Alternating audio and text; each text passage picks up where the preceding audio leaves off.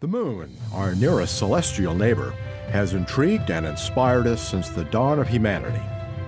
During the Apollo program, 12 astronauts landed on its cold and cratered surface, but they couldn't stay. Now, NASA's Constellation program begins a new journey to live and work on the moon, setting the stage for future long duration human exploration. Today, two spacecraft scouts are poised to lift off together aboard a powerful Atlas V rocket on the first launch of this new era. They are the Lunar Reconnaissance Orbiter and the Lunar Crater Observation and Sensing Satellite, or LRO and LCROSS. One rocket, one destination, two critical missions. Together, they're helping us pave the way back to the moon.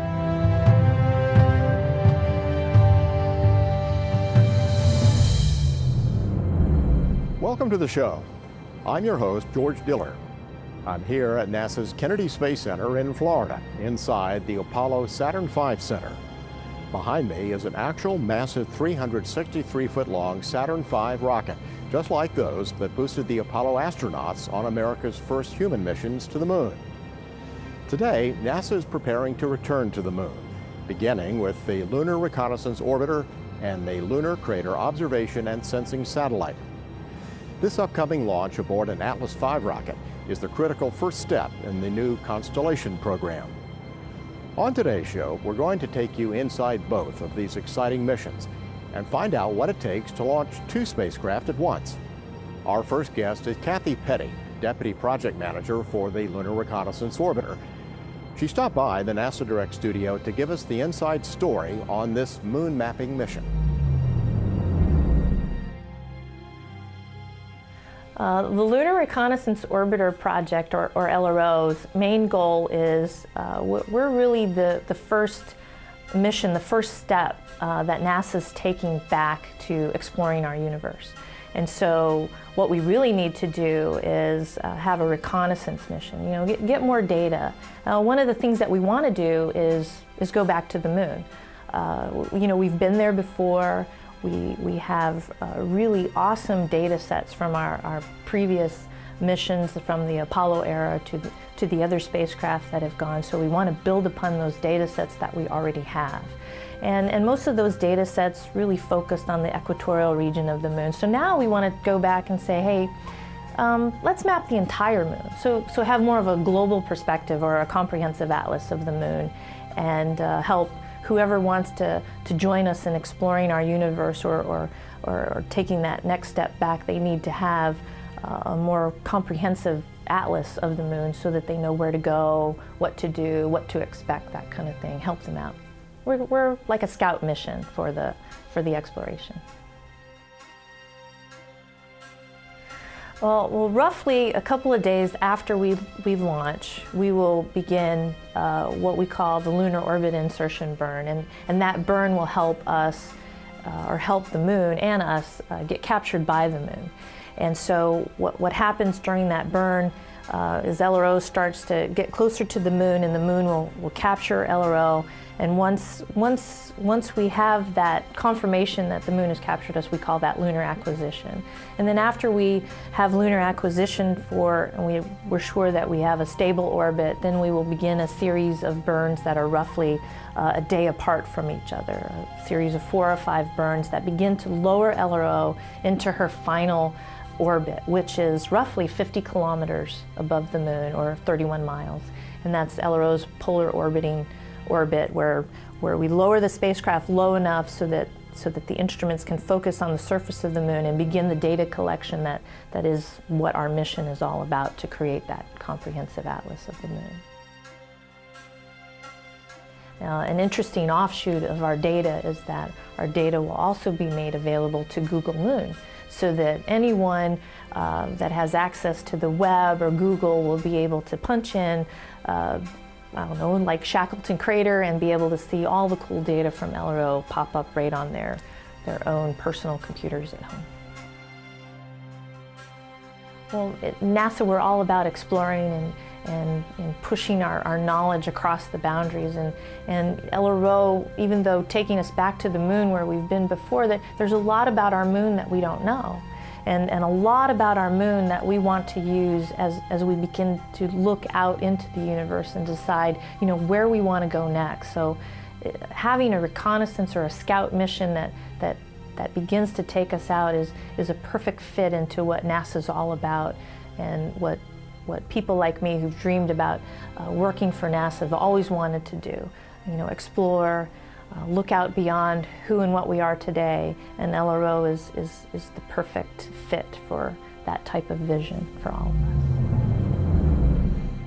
Now that we know what to expect from the Lunar Reconnaissance Orbiter, we turn our attention to its sister payload, the Lunar Crater Observation and Sensing Satellite. Its goal is to hunt for evidence of water ice using a hard-hitting method. Dr. Kimberly Ennico, LCROSS payload specialist, explains. LCROSS mission has two impact events. The first is the upper stage of the launch vehicle that we take with us on our four-month mission into space, um, and we separate from it, and um, it's traveling to hit the moon at 5,600 miles per hour. It's going to impact one of these lunar, permanently shadowed basins of a crater on the lunar poles. And it's going to hit a particular place. It's going to hit a place on the moon that we think there's water. Scientists who believe that there is water on the moon don't know whether it's smooth or chunky peanut butter type. So where you hit is important.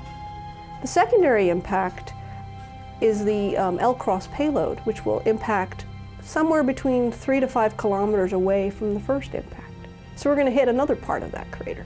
We've targeted this crater because it's got a strong hydrogen concentration. We're going to sample two parts of this crater. And so the two impact events will tell us something about the distribution of this hydrogen concentration or perhaps the distribution of water if the hydrogen is in water. The live images of our what we're taking with our science payload as we're going into the surface for the last four minutes of the mission, which is 600 kilometers down to the surface, will be streamed live um, on a public channel. LCROSS is important because it provides us a way to confirm the presence or absence of water ice at a particular location on the lunar pole. If there's water ice there, or water in some form. It means that for future missions to the moon, and perhaps beyond, there's there an in situ, a resource that's there, a resource that's on the, on the surface of that planet. You don't need to bring it with you. So for the human species, in terms of exploring the rest of the solar system, so getting out, oh, out of low Earth orbit, and we need water with us. If we can find a resource of water on the moon, that will be um, an, an, amazing step forward and a great resource to take advantage of in a very resource limited place. Both LRO and LCROSS need a successful launch in order to begin their missions.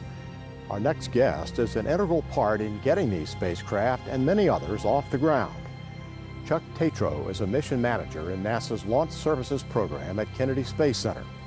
He's going to tell us about the unique challenges of this two-for-one launch. Hello, my name is Chuck Tatro, and I'm a mission manager for NASA's Launch Service Program at Kennedy Space Center. We're at the Vertical Integration Facility on Cape Canaveral Air Force Station.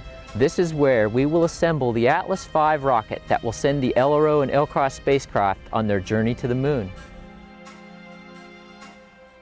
As a mission manager, my job is to lead the effort to bring a new spacecraft and launch vehicle together to where they're ready to launch.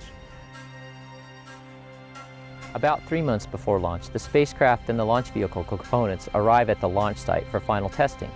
About two months before launch, the rocket components are erected on the mobile launch platform and filled with cryogenic fluids for a wet dress rehearsal. About two weeks before launch, the spacecraft is brought out here to the vertical integration facility and stacked on the rocket. At about one week before launch, we do a launch countdown rehearsal so the team can practice for countdown. In a dual payload flow, Both spacecraft have their own intricate and intimate requirements that are separate and may not play together nicely with the other spacecraft. For, for example, contamination, orbital requirements. Because LCROSS is going to impact the moon and LRO is going to go in orbit around the moon, we need to make sure that one doesn't adversely impact the other.